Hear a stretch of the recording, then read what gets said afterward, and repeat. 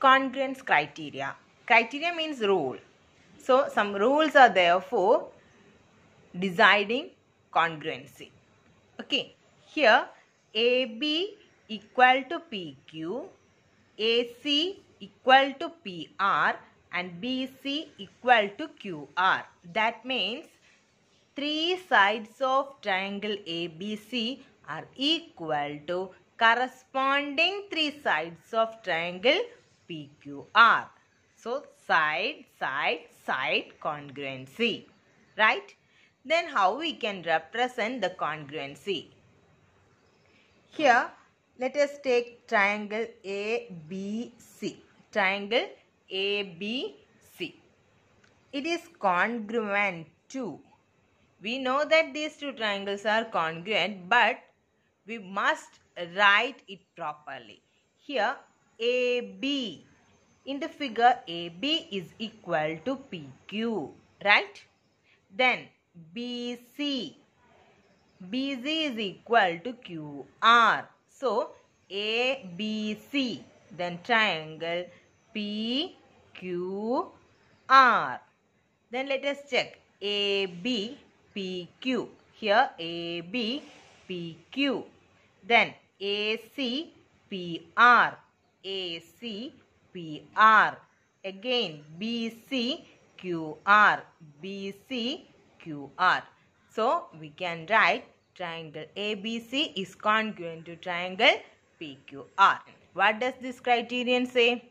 Yes, if under a correspondence, three sides of one triangle are equal to corresponding three sides of another triangle, then they are said to be congruent. Next one is SAS congruence criterion. SAS congruence criterion. So, side, angle, side. Angle is coming in between two sides, right? So, it is called included angle. Here, we are having two triangles, triangle DEF and triangle XYZ. Here, we can see that DE is equal to XY equal to 10 centimeter, right? Then EF equal to F is 12 centimeter. XZ equal to 12 centimeter. Then it is given that these two angles are equal. So, angle DEF equal to angle YXZ. Then we can say that these two triangles are congruent. Then listen here. Two sides and the included angle here. Again two sides and the included angle. So how we can write the congruency? Triangle DEF is congruent to yes DEF.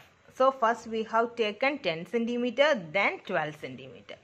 In this figure also we must take like this.